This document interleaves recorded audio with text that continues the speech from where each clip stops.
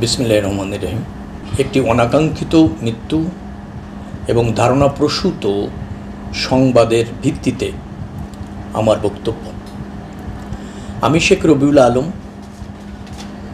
দীর্ঘ পঁয়ত্রিশ বছর বিএনপি রাজনীতির সাথে যুক্ত এবং বিশ বছর ধরে সুনামের সহিত রিয়েল এস্টেট ব্যবসার সাথে যুক্ত।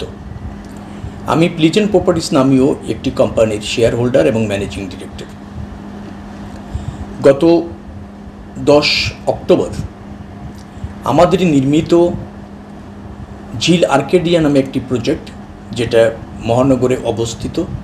সেখানে একটি অনাকাঙ্ক্ষিত দুর্ঘটনায় অপ্রত্যাশিতভাবে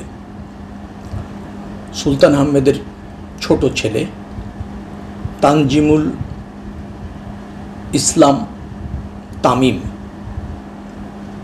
মৃত্যুবরণ করেন। মৃত্যু এমন একটি বিষয় যেটা নিয়ে কোনো যুক্তিতর্ক চলে না, এবং সে বিষয়ে আমি যাবও না। তামিমের মৃত্যু আমাদেরকে দারুণভাবে ব্যথিত করেছে।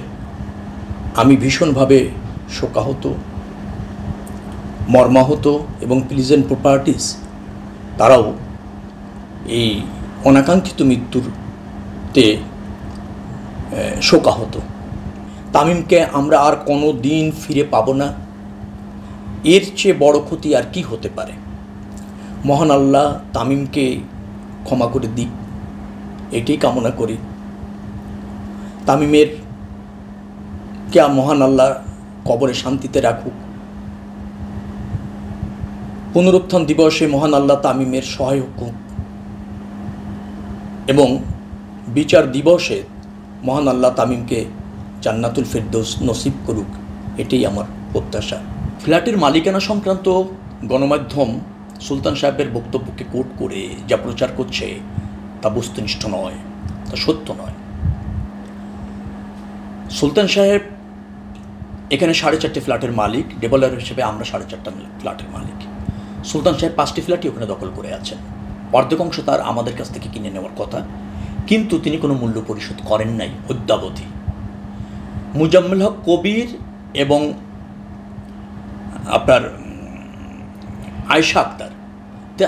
ওই দুই মালিক, অন্য দুই মালিক, তারা কিন্তু আমাদের কাছ থেকে অর্ধাংশ কিনে পাঁচটা ফ্ল্যাট বুঝে নিয়ে তিন বছর আগের থেকে ভোগ দখল করছেন।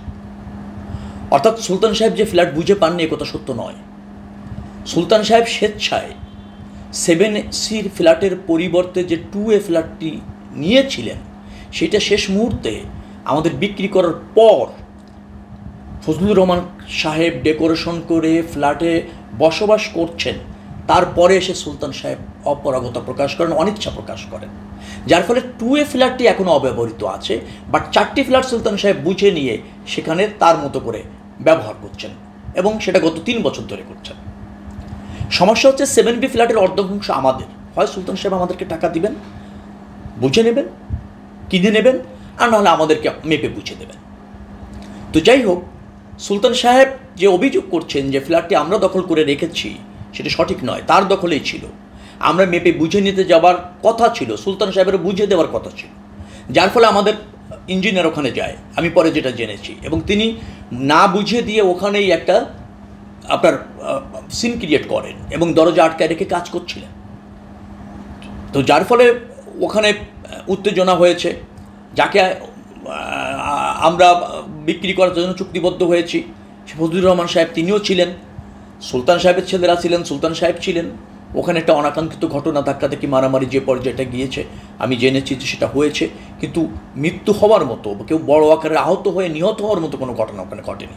যদিও তো আমি মারা গিয়েছে, আমাদের মনে হয়েছে যে পোস্টমর্টম করলে তার সঠিক চিত্র আমরা জানতে পারব, কারণও জানতে পারব। মৃত্যু অনাকাঙ্ক্ষিত, কোনোভাবেই কাম্য নয়। কিন্তু সুলতান সাহেবের ফিলাটা আমরা দখল করে রাখিনি। সুলতান সাহেব তার পাঁচটি ফিলাটি তার কাছে। আমরা ওই ভবনে আমাদের কোনো অফিসও নেই, আমাদের কোনো অ্যাক্টিভিটিসও নেই। তিন বছর আগে আমরা ভবন ছেড়ে দিয়ে চলে আসছি। অথবা আমরা দখল করে করার কোনো প্রশ্নই আসে না। সুলতান সাহেবের দখল থেকে আমাদের মেপে বুঝাই দিতে নিতে গিয়েই এবং সুলতান সাহেবের কমিটমেন্ট অনুসারে বুঝাই নিতে গিয়ে এই সমস্যাটা হয়েছে। অতএব ডেভেলপার কোম্পানি চুক্তি অনুসারে ভবন নির্মাণ করে তিনজন মালিককেই তিন বছর আগে ভবন এবং তাদের ফ্ল্যাট বুঝিয়ে দিয়েছে। যারা ক্রেতা, তাদেরকেও ফ্ল্যাট বুঝিয়ে দেওয়া হয়েছে, তারাও তিন বছর ধরে এখানে বসবাস করছেন। অর্থাৎ সুলতান সাহেব যে অভিযোগ করছেন যে তার ফ্ল্যাট আমরা বুঝে দেয়নি একথা সত্য নয়। এই সেভেন সি এবং অর্ধেক ফ্ল্যাটের মূল্য এবং সেভেন সি এবং টু এর মধ্যে কোনটি সুলতান সাহেব নিবেন, সে বিষয়ে একটা বিতর্ক তৈরি হয় এবং তখন আওয়ামী লীগ সরকার ক্ষমতায় থাকে। সুলতান সাহেব মহানগর সোসাইটিতে একটা ভাইস প্রেসিডেন্ট হিসেবে উনি ওখানে নির্বাচিত থাকেন। তিনি আমাদেরকে মহানগর সোসাইটিতে বিচার সালিশের জন্য যেতে বাধ্য করেন এবং আমরা কোম্পানির তরফ থেকে তিন থেকে চারবার মহানগর সোসাইটিতে বসে এটার সমাধান করার চেষ্টা করি। মহানগর সোসাইটি এটা জেনে তারা লিখিত সমাধান না দিলেও সুলতান সাহেবকে বলে যেহেতু সেভেন সি বিক্রি করা হয়েছে, আপনি টু এটা বুঝিয়ে নেন আর ডেভেলপারকে সেভেন বি এর অর্ধেক টাকা পরিশোধ করে দেন। কিন্তু সুলতান সাহেব তাতে অনর থাকেন। এরপর মহানগরের ওই সিদ্ধান্ত সুলতান সাহেব গ্রহণ না করলে সুলতান সাহেব বিরক্ত এবং ক্ষিপ্ত হয়ে তারই সোসাইটি এবং সেখানে তিনি ভাইস প্রেসিডেন্ট। সেখানে তিনি তার সিদ্ধান্ত, সোসাইটির সিদ্ধান্ত তার মনোভূত না হওয়ার ফলে তিনি ডিবিতে যান এবং ডিবিতে তখন হারুন সাহেব তার কাছের লোক হয়। ডিবিতে গিয়ে তিনি আমাদের বিরুদ্ধে অভিযোগ করেন। আমাদের অফিসাররা সে ডিবিতে যায়। তিন দিন ধরে মিটিং হওয়ার পর হারুন সাহেব একই সিদ্ধান্তে বল থাকেন যে, না সেভেন সি যেহেতু আপনি পরিবর্তন করে নিয়েছেন, আপনি টু এ নেন এবং ওনাদের অর্ধেক ফ্ল্যাটের টাকা প্রয়োজনে কম্প্রোমাইজ করে কিছু কম দিয়ে সেটেল করে ফেলেন। সুলতান সাহেব সেখানেও একমত হন না। তিনি একরোখা এবং জিদি মানুষ তিনি কোনো অবস্থাতে সেভেন সি ছাড়বেন না, যেটা তিনি প্রথমে ছেড়েছিলেন হ্যান্ড সারেন্ডার করেছিলেন, যেটা তিনি স্বেচ্ছায় টু এ নিয়েছিলেন। কবির সাহেব একই কাজ করেছে, কবির সাহেব সেটা কিন্তু সারেন্ডার করেছে এবং আমাদেরকে, আমরা যার কাছে বিক্রি করেছি তাকে বুঝিয়ে দিয়েছে এবং তিনি পরিবর্তন করে যেটা নিয়েছেন কবির সাহেব, সেটা কিন্তু কবির সাহেব এখনও নিয়ে বসবাস করছেন।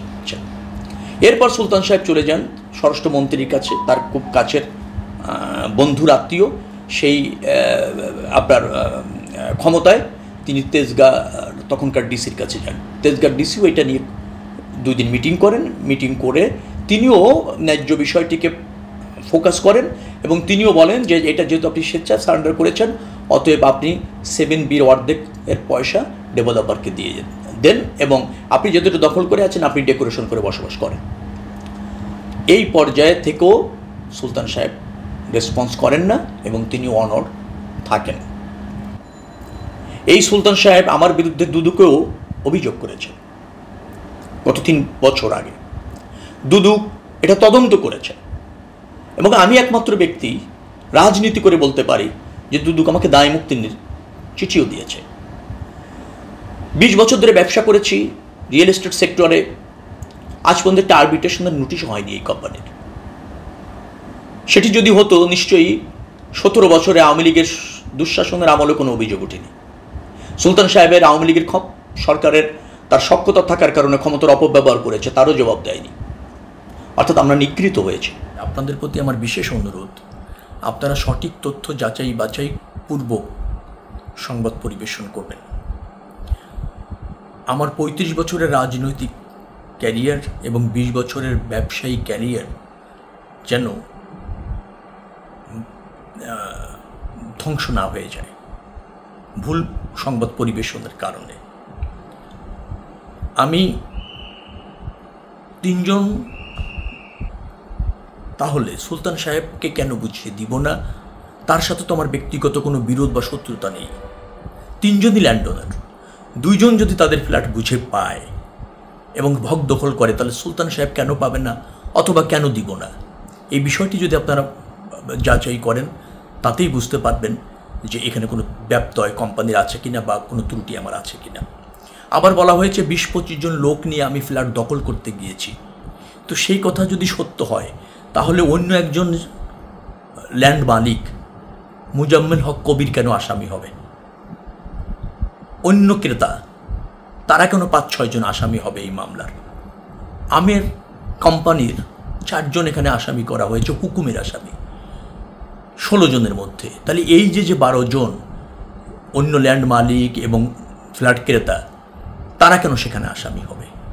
যার ফলে বলছি যে, আপনারা সঠিক তথ্য যাচাই বাছাই করলেই বুঝতে পারবেন যে, সুলতান সাহেব তার বিশেষ স্বার্থ উদ্ধার করবার জন্যই এই অপপ্রচারগুলি করছে। তার সন্তান ডিপার্চার হয়েছে, এ বিষয়ে কোনো দ্বিমত নাই, এ বিষয়ে কোনো যুক্তিতর্ক নেই। তবে যে দায় আমাদের উপর চাপানো হচ্ছে সেটা সত্য নয়, সেটা সম্পূর্ণ মিথ্যা। সুলতান সাহেব এখানে আরেকটি অভিযোগ করেছেন, তার স্নেহের সন্তানকে পিটিয়ে পিটিয়ে হত্যা করা হয়েছে। প্রকৃতপক্ষে সিসিটিভির ফুটেজগুলি পর্যালোচনা করে দেখা যায়, সেখানে পিটিয়ে পিটিয়ে হত্যার মতো কোনো ঘটনা ঘটেনি, কাউকে নিহত করবার মতো কোনো চেষ্টাও হয়নি, কোনো ধারালো অস্ত্র, অথবা কাউকে প্রচণ্ডভাবে আঘাত করবার জন্য কোনো লাঠিসোঁটা ব্যবহার হয়নি। ধাক্কাধাক্কি হয়েছে, ধস্তাধস্তি হয়েছে, আপনার হাতাহাতি হয়েছে, এই পর্যায়ে ছিল। আর পুলিশ ঘটনাস্থলে আসার পর সুলতান সাহেবের ছেলে মরহুম তামিম, সে নিজেও বিশ থেকে পঁচিশ মিনিট পর্যন্ত পুলিশের কাছে বিস্তারিত ঘটনার বর্ণনা দিয়েছেন। বর্ণনার শেষ পর্যায়ে এসে পুলিশকে তিনি বলেন, তিনি বুকে ব্যথা অনুভব করছেন এবং তার স্বজনরা তাকে হাসপাতালে নিয়ে যায়। সেখানে প্রাথমিক চিকিৎসা চলাকালীন অবস্থায় এক পর্যায়ে সে শেষ নিঃশ্বাস ত্যাগ করেন, ডাক্তার মৃত্যু ঘোষণা করেন। নিশ্চয়ই তাকে পিটিয়ে পিটিয়ে এখানে হত্যা করা হয়নি।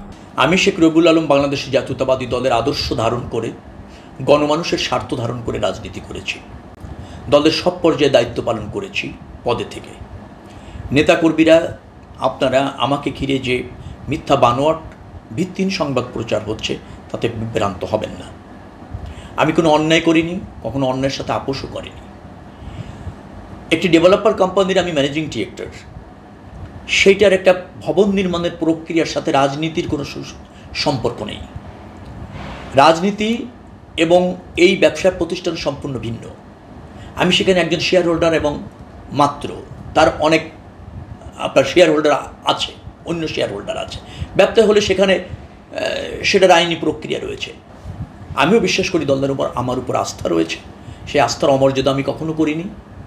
সন্ত্রাস বা দলীয় শৃঙ্খলা ভঙ্গ হয় এমন কোনো কাজ এর সাথে আমি কখনো জড়িত ছিলাম না এখনও জড়িত নই। এখানে কোনো রাজনৈতিক প্রভাবের হয়নি এবং কোনো রাজনৈতিক আমার সহযোদ্ধাকে ওখানে পাঠানো হয়নি, নিয়ে যাওয়া হয়নি। কারণ আমি জ্ঞাতও ছিলাম না এবং আমি এটা আমার জানা ছিল না। এবং আমার, আমি আমি নিজেও উপস্থিত ছিলাম না। আমার বিরুদ্ধে যে এজাহারটা হয়েছে, সেখানেও দেখবেন যে আমার উপস্থিতি ওখানে নেই।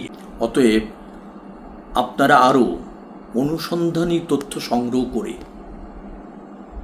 সঠিক সংবাদ পরিবেশন করলে আমি কৃতজ্ঞ থাকব এবং ন্যায্যতা প্রতিষ্ঠিত হবে, ন্যায় বিচার প্রতিষ্ঠিত হবে।